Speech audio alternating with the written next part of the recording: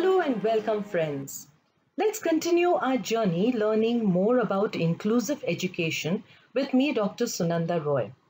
We all know that inclusive education aims at giving good quality education to diverse learners under the same roof.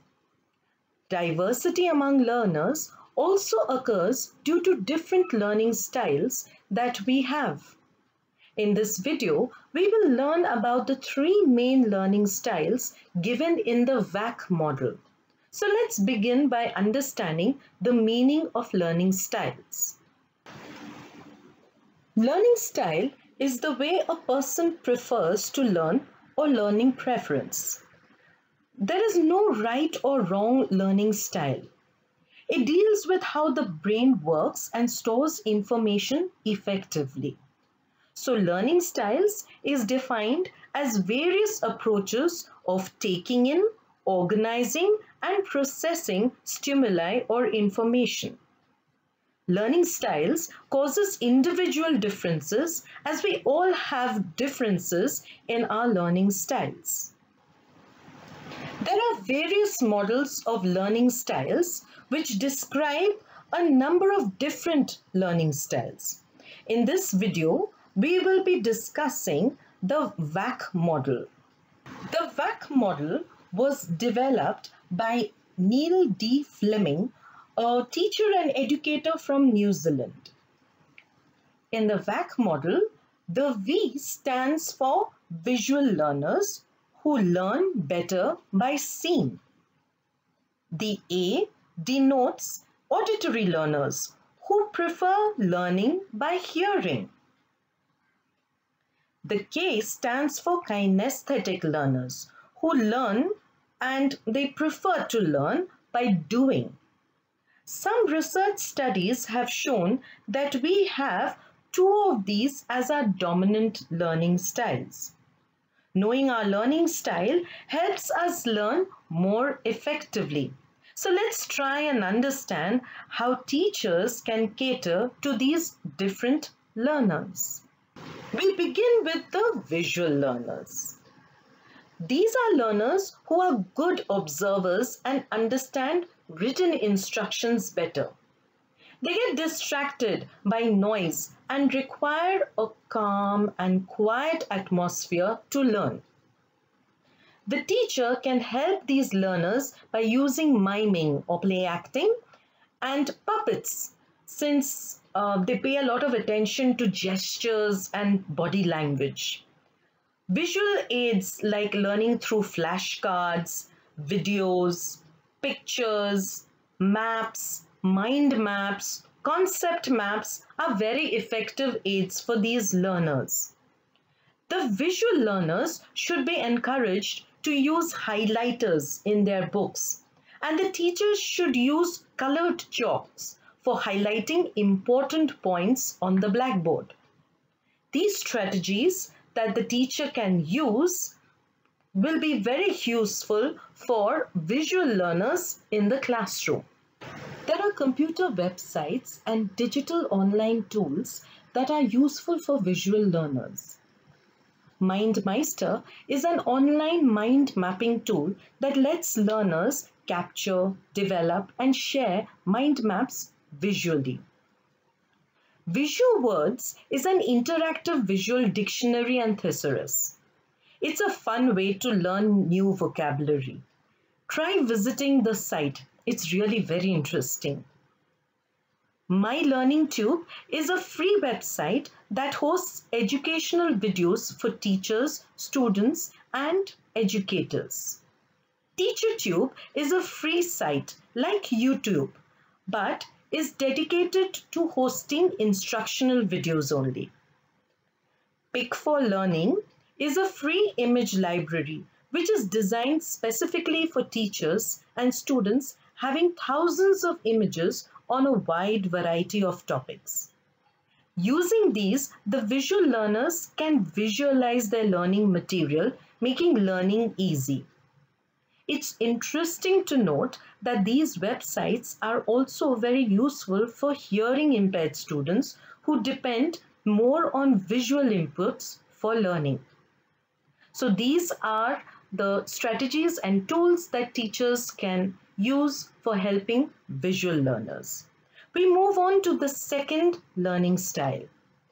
The auditory learners learn through listening. They may not maintain eye contact with the teacher, but they can absorb all that is heard in lectures and classes. So the teachers can use a variety of audio aids like CD players and other multimedia. They have a good sense of rhythm. So they learn better if the learning materials like poems, etc. are taught using rhymes. They also learn better through loud recitation or hear others reading aloud in study groups. Along with the teacher presenting, if the students are given the opportunity to hear other students or themselves present, then learning becomes easier for these auditory learners. The teacher can also use different voices while reading and narrating. This helps the auditory learners retain longer what they have learned as they pay a lot of attention to how things are said. Unlike the visual learners, auditory learners can learn with music playing in the background as it stimulates their learning. The digital tools that are useful for auditory learners are free audio books through which they can enjoy books by listening it being read without having to actually read the books. Audacity helps in recording and editing audio very easily. This can be used for making audio projects and presentations by the auditory learners or even by the teachers while preparing audio aids. Podomatic helps learners create their own podcast for music or any type of audio for publishing and sharing. Midomi is a search engine that will allow you to discover the name of a song by simply singing or humming the melody into its voice recognition tool. So the auditory learners can choose their music and listen to them in the background while studying using Midomi. Natural Reader and Read Please are text to speech online apps with natural human voices that convert text to speech or audio. In fact, these websites are useful for visually impaired students also since they too depend a lot on hearing for learning.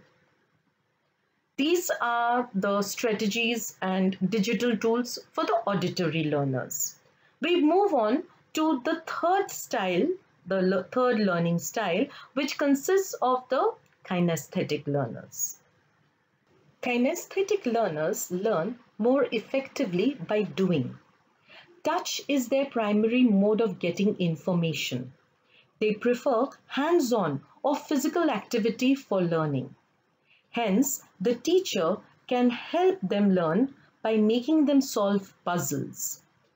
These learners can learn better by making them write journals, even asking them to write notes, outlines of chapters, uh, or summaries of lessons, engaging them in clay modeling, preparing posters or PowerPoint presentations of things that they have learned is also very useful for them. Taking them outside the class and arranging field visits encourages better learning for kinesthetic learners. Role playing and conducting experiments are also very beneficial for these students. All these activities require physical activity which helps these students to learn. There are digital tools that are useful for kinesthetic learners also. Student interactives are interactive tools that provide activities and strategies that enhance learning skills. Using the ClassMarker, learners can create free online quizzes, of course with time limits, to test their knowledge of any subject. Quizlet users can create their own flashcards and quizzes or study material that have been made by other students can also be used and accessed using Quizlet. NoteMesh is a free service that allows students to share notes online or contribute to any existing document. Cram is a free web-based application for creating, studying and sharing flashcards. You know what is very interesting? There are 68 million flashcards available on this website. Sounds interesting, doesn't it? Google SketchUp is a free drawing software that allows users to create, modify and share 3D models. So we have seen the different strategies and digital tools that teachers can use to help students with visual, auditory and kinesthetic learning styles.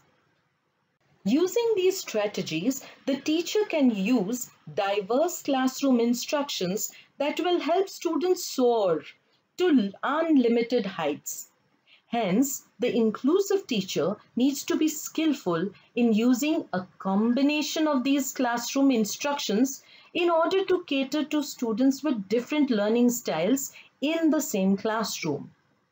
Along with that, the teachers need to be aware of the available digital tools that can help students with different learning styles. These are some references for additional reading related to the other models of uh, learning styles and some more digital learning tools for students. In fact, you could try to identify your own learning styles. This will help you in the future to become effective learners. I hope you found this video informative and interesting and have also understood the importance of identifying different learning styles. Thank you so much for watching the video.